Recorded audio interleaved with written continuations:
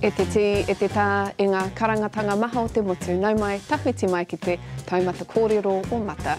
Welcome to Mata with me, Mihingarangi Forbes, brought to you by Te Māngai Pāho and the Public Interest Journalism Fund. Well, over the last few weeks, we've been speaking to party leaders in the lead up to the election. However, National Party leader Christopher Luxon has declined to be interviewed by Mata, as has his deputy leader Nicola, Nicola Willis. So instead, we are joined today by National Party MP and candidate from Hamilton West, Tama Pōtaka e te Tungani. Tēnā koe, we're happy to have you here. Tēnā koe, te mārei kura e whakatau nei au. Tēnā koe. Should Christopher Luxon be sanctioned for not turning up to this interview? Well, that's something you should take up with his office. Well, we have tried, but he won't. But more seriously, what does it tell Māori about the National Party leader uh, when he hasn't got time for Māori current affairs? Oh, I don't have any comments to make on that, but the scheduling matters are really matters for his office. I'm just trying to schedule my own diary and make sure that I can attend these sorts of uh, interviews, but also get out amongst the hardworking people of Hamilton West, kiri kiri roa ki te uru. Is it important though that you know party leaders turn out to Maori current affairs shows? I mean, we've got a whole audience that we that, that we ask questions through a Maori lens and different kaupapa. Oh no, I, I do think it is important uh, that the party leadership, no matter what party it is, does engage with uh, media from all uh, strands of the media space and the media sphere. So I hope in due course uh, Christopher Luxon and Nicola Willis and others of the National Party are able to come and join you on the show. We would love it. While we're on the subject of Māori broadcasting, you know, you could well be the Māori Development Minister come October the 18th. Does the National Party have a policy yet? I'm not going to presume anything about where I might end up. I'm just trying to win You the, are the spokesperson, right? I, Yep. I am the spokesperson on Māori development, but uh, certainly any decisions, if we're lucky enough to be Mm. part of and lead a uh, government in the next month or two, uh, then those decisions will be left up to our leadership Yeah, to thou- Christopher Luxon. Your thoughts, though, on Māori broadcasting? You've watched um, the broadcasting minister, Māori uh, broadcasting minister Willie Jackson, Mm. you know, reform the industry, um, review it, revise it. Are you supportive of what you've seen, the changes, or are there, is there anything particular you'd like to have a go at? Look, I think there's been some amazing changes uh, across the media space in New Zealand, and there's been a lot of support uh, from the minister, uh, Minister Jackson, Jackson, and I applaud him for that support and for the mahi that's uh, been, um, I think, uh, the next step along the journey of Te Reo Māori and Te Reo Māori in the media sphere, and certainly the mahi that Maurice Williamson and others did with the settlement of the broadcasting assets claim way back in the 1990s, I think showcases what uh, can be done together. Uh, that was then. We're moving forward now, and hopefully in the future there'll be something different as well. Not that I want to have a hologram inter- interviewing me, the hologram of Mihi interviewing me, but I'd, I love to see uh, the usage of Te Reo Māori, uh, not only on the airwaves, but also on the Papatuanuku waves. Yeah.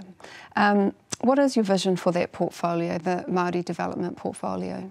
Well, look, uh, we haven't released a formal policy on it, but what I can say now is... Voting's begun.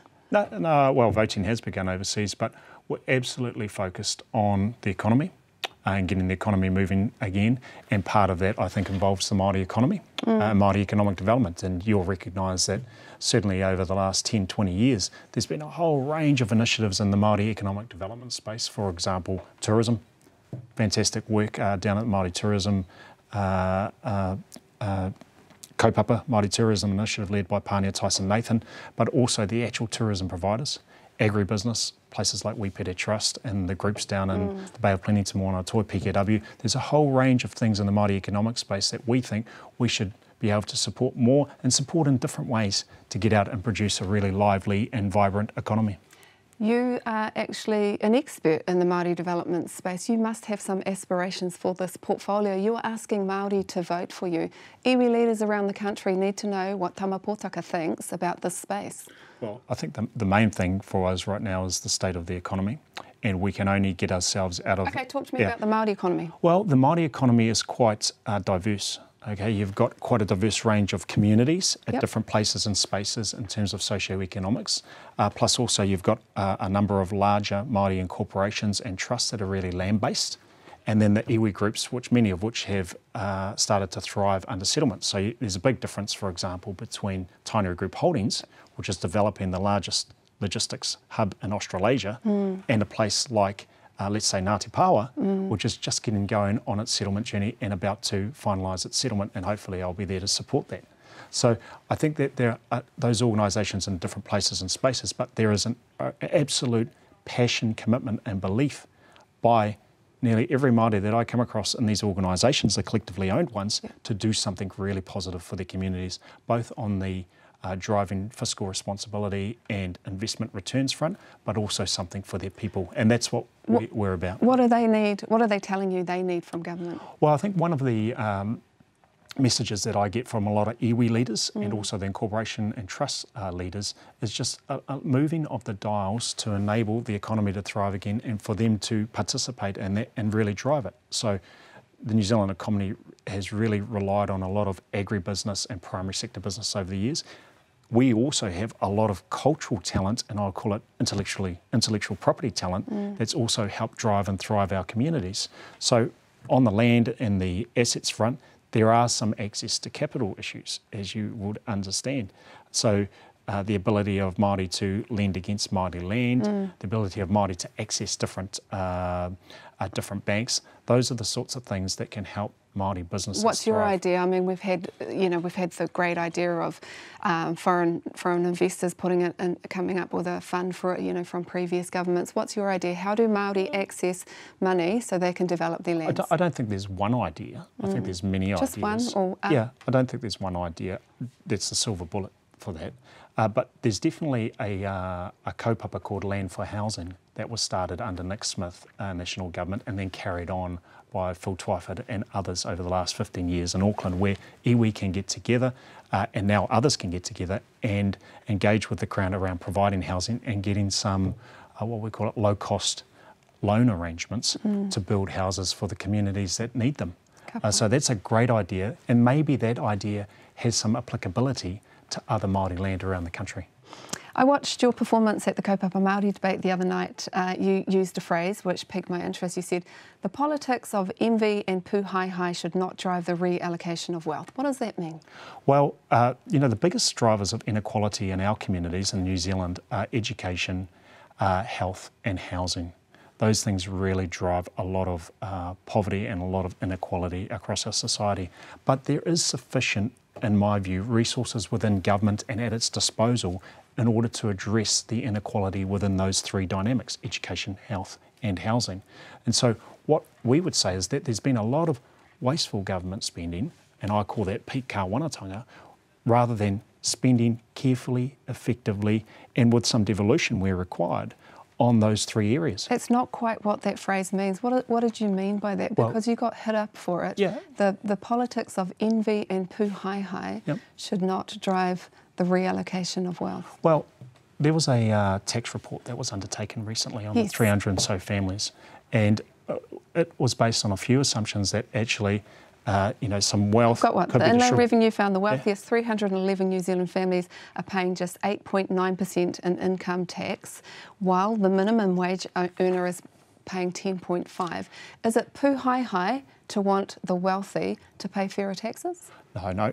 How I describe it is that that laid out some of the facts of the situation, that report, but it didn't lay out, for example, that those 310, 320 families actually pay 150% more tax than, than the average earner that you speak of. So there is a massive difference. But they are earning way more money? And not only that, they, that the assessment didn't take into account the capital gains that were being accrued by people who weren't in that 320. So there were assumptions that were used in that report that weren't necessarily fair the same, or transparent. That report found yeah. that 80% of their wealth yeah. came from capital gains. 80%.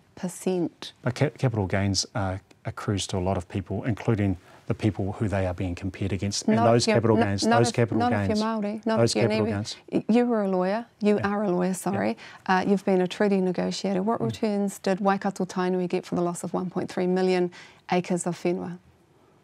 Well, they, they reached a settlement with Doug Graham, Jim Bolger, and others of the National Party. Not only that, uh, they also received a relativity provision in their settlement. Now, that might be 1% or 2% of the total value lost, but we went through a process as a country to start the settlement, uh, treaty settlements, and that process is continuing. There are still some outstanding ones, and now they're in a very positive and constructive position to build business and build into the so communities, and they continue to do they that. They got less than 3%. And so, yeah. are you brave enough to say that Waikato Tainui is Pūhaehae um, for, for wanting a fairer deal? No, but the, I think that Waikato Tainui, and they've got uh, other settlement arrangements to conclude as well, uh, have moved to a space where they've been very uh, positively engaging in the economy, whereas 40 years ago, that was very hard for them. They might have had one or two farms. So, yeah, so I guess what we're, we're talking about, we're talking about the reallocation of wealth and you calling it envious and pūhaehae, when you, you're, you're, you're basically defending the wealthiest people in New Zealand and saying that they pay way more tax than everyone, but they earn more tax. No, no, I think how I've described it, Mihi, is that the report that is used to uh, drive a discussion around the wealth tax actually is not as transparent as it should be.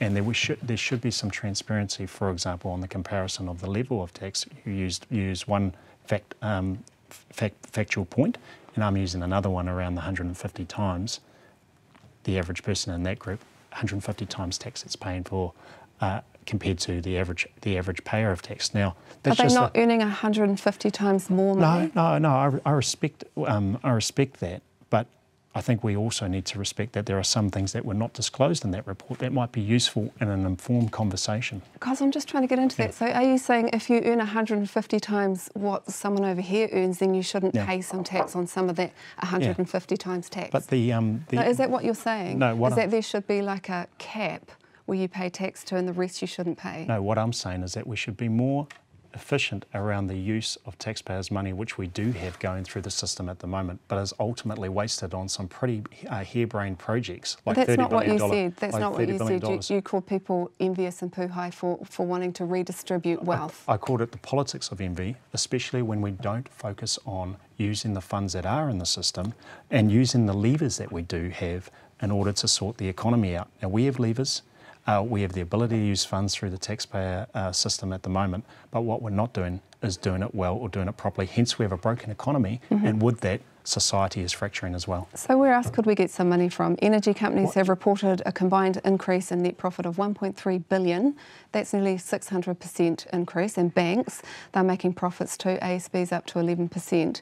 What about an excess profit tax? Would, would National look at one of those? Well, generally, I'm not in the same headspace as you about finding more money. What I'm saying is that if you own a government that spent another $1.2 billion extra every week compared to Bill English and John Key, surely we should have got better outcomes. But in fact, we've gone a lot further backwards in most of the most important things education, health, and housing. So there is enough they, money in the system. and there are some people. they didn't work through COVID. Yeah, in some, this, no, that's, that, that's, that's accurate. But in some uh, of your kōrero, what you're saying is we need more money. And the sum of my kōrero is actually there's enough money thrown through the system, especially when the government today is spending 80% more, more money okay. than Bill English and John Key. Okay, so we don't need any more money, but we have, you know, how well do you think Māori whānau are, are, are doing in terms of incomes then? Well, I think that there's a lot of diversity across the whānau yep. Māori space, mm-hmm. and I mm-hmm. think some people are doing very well, but many are really struggling. 244,000 uh, Māori are earning less than $30,000 a year. Yeah. So, yeah, and, uh, should we redistribute or not some wealth to people who are who are doing it hard? Or maybe what we should be doing is using the uh, taxpayer funds that we are getting through the system to better address some of the needs rather than wasting on harebrained schemes like the cycle bridge over the Auckland Harbour. And so Harbour. when you get when you get into government mm. on October the 14th, what are you going to do to raise some of those incomes and and the well-being of the 244,000 Māori families earning less than 30,000? Well, I think we have to focus on number one, sorting the economy out and sorting out the cost of living. And one of the things that we've said, for example, is we've got to get the immigration and related settings right so we can get people, kaimahi, back working in New Zealand. There are some industries that aren't working or functioning very well because mm. we don't have enough kaimahi. And you know about the health system as a great example. The second thing is that we would like to uh, give some tax relief. Now, we've announced that for the squeezed middle which you, you, have heard of, the, our tax policy for the squeezed middle. Another thing that we would like to do. What about the, the trampled poor? What about the 244,000 Māori that are earning less than $30,000 and you've already been yeah. here with your protein bars because you know that it's four bucks a week? I mean, is that fair? Is that really fair? Well, You're going to give tax tax cuts to, and you're concentrating on the squeezed middle, you, have got 244,000 Maori un, uh, earning under 30,000. Yeah, no, and I, and I respect your, your comment there. But how what I, what you, I also how would they cut yeah. up that protein bar for their dinner? Yeah, what I'd also say is under Labor, uh, you know, the number of Maori on main benefits has moved from 99 to 131,000, and so Labor actually hasn't created the conditions where uh, people can go to work and where people can thrive. They've actually made it a lot harder, particularly with, as I've described it, the large max kāwanatanga over-regulated yeah. economy. That's resulted in economic failure. Yeah. So what I'm saying is this, is that we have policies that have been announced. One of them has been announced, tax relief for the squeeze middle, but I'm sure other fiscal responsibly responsible policies will be announced. If you're going to fix the mechanisms or the machine or the infrastructure that's going to put the country back on track, I wonder how you, as the Māori Development Minister, would look at how you know Māori women are earning 23% less than Pākehā men. Mm. I don't think that's going to be, um, you know, is the tinkering around the edges over there going to fix that, or, or does that need something else? No, I think uh, as we've described it or seen it before, uh, New Zealand has lost or is missing right now a bit of economic mojo, and it's time for us to restore and replenish the cupboard because right now in the cupboard, in the financial cupboard of our country, we've got caterpillars and spiders, uh, and we have to replenish it with the stock, and we do that by activating uh, massive areas of business and economic growth, like agribusiness, like tourism, like uh, other parts of our economy. So we've got to get going and get the levers moving so that our macro and microeconomic situation can improve. If we don't, we we just get into more and more economic despair. How, how would that make any difference for Māori women who, for a long, long time now, have been have had an inequity uh, gap between them and, say, Pākehā men? Well, why don't we look at the record of the pay equity gap uh, comparison? And the Ministry of Women will tell you today that under Bill English and John Key, that pay equity gap for women generally went from 12.4, 12.5 to 9.4. And under Jacinda Ardern and Chris Hipkins, it's gone from 9.4 to 8.6. So there has been there has and been that's movement. a universal lens. So yep. if you put a Māori lens on that, what happened? Well, you put a Māori lens on that. Well, that, the Ministry of Women doesn't actually report on that. So maybe Was that's that something, something you'd like to do? Well, I think it's something we should look at. Yeah. So, so you'd yeah. commit to doing that? You're going to bring in um, better measurements around Māori income? I'd be encouraging it. Yeah. I'd be encouraging it because that's something that's really important to me is to support and tautoko wahine Māori and what they do and kōtiro Māori. I have one myself and she's beautiful and as you know, I have a wife who's perfect. You are also the Associate Housing Minister. The current government promised 100,000 homes. They built something like 13,000. Um, if you were to take over the social housing portfolio, how many whare would we need? How much? How many would you commit to? Well, I'll get to the fact check first. The government said 100,000 Kiwi built homes, and, yep. they, and they built 1,800. And then there were some social houses that were built as well, not only by the government, mm but also by community housing providers. Yes look, we're not going to commit to a number of houses, but what we are going to do and what we've said recently is that there are a number of levers across the housing dynamic that need to be moved. We need to encourage councils to go for growth and to rezone, and mm-hmm. we'll give them some infrastructure support. We need to get the transport sorted. For example, you know, the Brynderwyns and other places, 73 days this year that it was closed. Uh, some roading projects like the Southern Links and Hamilton. So this is about social housing? Uh, all so those things go together. Yeah. Okay, so rezoning land, getting transport sorted, making sure building and construction. Rezoning land outside of Auckland, is, it, is that what you're talking about? Because we're talking about social housing, so Everywhere. where are you planning to put social Everywhere. housing? We should be encouraging councils to rezone, rezone land in most of the big cities. So rezoning land, getting proper uh, roading links and proper infrastructure sorted, including the three waters. Uh, oh, let's talk about yeah, that.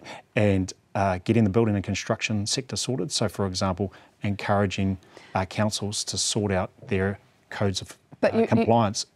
straight after their inspections, and then social housing. So all those things tie in together. On the social but no housing target, front, no target. Well, no, our target, and we've talked about this, is trying to end. No, what's the target? We're trying to end emergency housing in the, in the nature of that And the target in, for the build?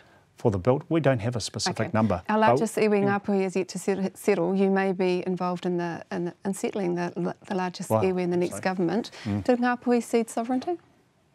Well, the, the Article 1 of the Treaty of Waitangi says that there is a cession of sovereignty, the English version. So you believe they ceded sovereignty? Well, that's what the version says, and those uh, people that signed up to it, that's what they signed up to. Do you go by the English version? No, No, I um, Well, I actually just read it as a that- whole. I just asked you that question and you said the English version Uh, I read says it as they a whole. ceded. Okay, so what's your view? Did they cede sovereignty or not, or did they retain rangatiratanga? Well, I think it's both, So, and that's that's exactly what the tribunal has said over time. well, the, actually, the Waitangi. Tribunal over found that. Ngāpuhi did, didn't cede sovereignty. Well- so, are you saying that you know better than them? No, The no, I'm not. so did No, I'm not. But Seri Jury and others have said over time that there is a uh, cession of sovereignty and a protection of rangatiratanga, and that's what I hold to. so just to be clear, if you're going into settle Ngāpuhi, did you believe that they ceded sovereignty or not? All I'm saying is that there's a protection of rangatiratanga and a cession of sovereignty. Who owns water? Everybody. We have massive issues across the Mutu at the moment. Queenstown is suffering right now, What about Parnell?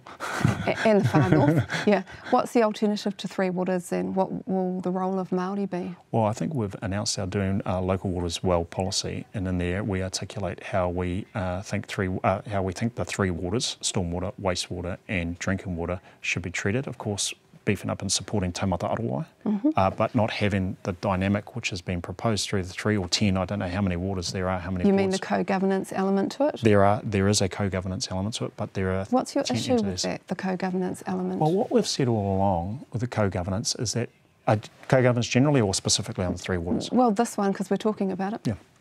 What we've said is that it's a dangerous precedent or it's risky to tell communities actually we're going to move the management, uh, the governance and the control of Three Waters that you've paid for, those services and systems, into uh, the decision making authority of another group. And we've said actually we don't support that. In the event that there is community, council, iwi, Crown support, like the Waikato River Authority, for something in the environmental space for a co-governance um, entity to be established, well, tautoko. We've said that for the Waikato River Authority. And generally, co-governance, yes or no? Well, co-governance in a treaty settlement space, which No, you've uh, seen like, I like mean, yes, we know, Taranaki, his, Taranaki we know, we know about the historic. Authority, We, we, we get that in a in a services space over public services. over any services. Well, public services, we've said no. Uh, Have you always been opposed to co-governance in public services, or is this a new thing for you? No, that, that- look, that's our position. That's my position. Yours, yeah. That's our position. That's my position, and um, that's the position that we have. Now, has what we always, need, Has what it we, always been your position though? well, what, what we need to deal with But is has it? what's that? Have you always been opposed to co-governance in a services? Uh, Public services. Yeah. Oh, I've, I've had different views over time. when did you change? It's Well, I, I important. can't. I can't pick a specific date like my birthday. I can't Okay. pick a specific Would- date. uh, would you lend your support if you were to be the next government and you w- m- might be fortunate enough to be the Māori Development? Who knows? You might be the treaty. You might be the Attorney know. General. Who knows? Would you lend your support to the people of Wakatu Incorporation who have the oldest property claim in the country? You know this, but for everyone else, the Hmm. Crown, which you will be the ne- uh, you could be part of, will repres- uh, res- represent the numbers if they fall your way. Has been instructed by the Supreme Court to remedy the case of Wakatu, who has never been given the 10% of lands the Crown promised when they gifted Nelson to the people. So, how will you deal with that property claim? Look, I respect the mahi that my whanaunga of Wakatu uh, and Rore Stafford and others have been carrying, and they've been carrying this claim for, you know, nigh on 160 years. Uh, And they've, been, also, they've, been, they've been ignored for six years by this government. Are you going to ignore well, I them? think they've been ignored by multiple governments. Are you going to ignore them? I'll definitely be uh, listening to them and sitting down and trying to understand where their current uh, case is heading because they're in a, in a You, remedies you, hearing. you know where the current case is. The High Court has instructed, sorry, the Supreme Court has instructed the High Court to remedy the situation. Mm. So, if you were to become the next government, would you be instructing or having a conversation on their behalf with the Nelson District Council or City Council, whoever it is, to start giving back parcels of their land? well, I think that's probably a, a matter for the Attorney General to deal with But would you than, support that though? rather than. Well, we have to see where it ends up up with the High That's Court the at the moment. the point of you being in that party of Maori MPs, especially with Yeah. your background and your knowledge. No. Ma- you know, Wakatu a- has been ignored for so many years. I can say I'm a very strong advocate for resolving long-standing grievances, whether or not they're treaty-based or uh, based this on other one's a things. property claim. Well, so it's a fiduciary claim. Yeah. It's a fiduciary claim, whether or not it's based on treaty or other things. And I think that's the type of person that I am. But um, you know, I, I did uh, reflect on a few things in relation to Wakatu, and they've, they've fought a very, very courageous and brave uh, battle with uh, Matua Rore, Stafford, and others. They have. And, and I respect that. Okay, so would you support yourself? Um, the, you know, once it gets down the track a wee bit, and, and, whoever the next Attorney General and the rest of it is, would you support them having land returned or paid out at market rates? Well, I think that's a conversation that will be had but as we go fair? through the High Court. Is well, that I'm, fair? I'm, not across all the specific details. Oh, so but I it's. but, but, but, I, I, can't comment on it. Yeah. I'm not across all the details, but I do know that there is there is some very serious grievance. The Supreme Court has made a decision around the breach and sent it back for remedies discussion. Yeah, so you know Yeah. that much. Yes. So is it fair for them to be paid like everyone else in a property cl- claim market rates? Well, I, I can't I can't Why make, make- not? draw a conclusion on fairness. Just your own personal view. But I'm, I'm not across the facts and the details enough to really say, well, this is really a go and it should be dollars X. The National Party plans to ban gang patches in public because patches are designed to intimidate the public. How do you think the police would determine a patch? Uh, I'm not, look, I mean, I'm for not- example, would the National Front, who are intimidating, or two tangata, the Destiny Church people, would, would they have to take their patches off? I'm probably not at the level of awareness or understanding how that would be determined. That's probably a matter for the police rather Okay. than someone like myself. Um, they also, you know, want to have the opportunity to disperse, um, you know, gangs and prospects and the rest of it. And I guess for Maori, Mm. they'd need a level of kind of protection because, you know, Maori are so overrepresented in all of those stats. How to, how, do, do you think that? Are you talking about the victim stats? Or the, No, no, I'm talking about because so, that Māori are overrepresented in the victim yeah, stats that, as they're, well. they're overrepresented in all of them. I guess do Māori deserve a layer of, a layer of protection from this policy, which is going to target um, young people, and, the, and, and police are going to have to determine whether that person's a prospect or just minding their own business. Yeah, look, I'd expect that to be a matter at the operational level, but my understanding is that the police throughout the country, and you know, um, uh, I know because my brother is a police officer, Mm-hmm. they have ongoing kōrero with people from all sorts of organisations and gangs and other things, and they do that at a, at a localised level. And actually, I respect that because it's not my job or a parliamentarian's job, parliamentarian's job to say you're bad, you're good. That, we just set up the framework.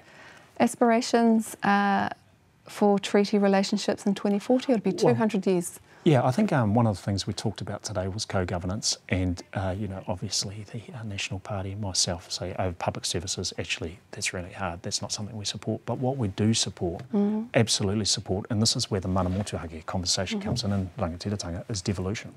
So a great example of that, for example, is the iwi Māori partnership boards in the health space, which basically have no decision-making authority and no funding. So they're underfunded and under capacity. That was released in a report recently by EY.